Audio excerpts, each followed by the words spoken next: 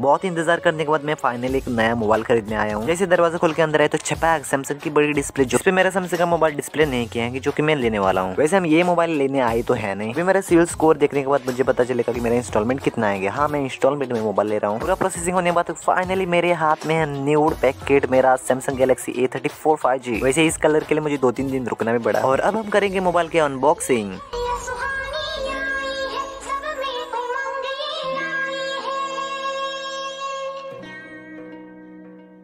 जैसे कि आप देख सकते हो पीछे का लुक बहुत ज़्यादा सुंदर लग रहा है। तो आने वाले ब्लॉग्स में आपको बेहतर क्वालिटी ब्लॉग्स देखने को मिलेगी।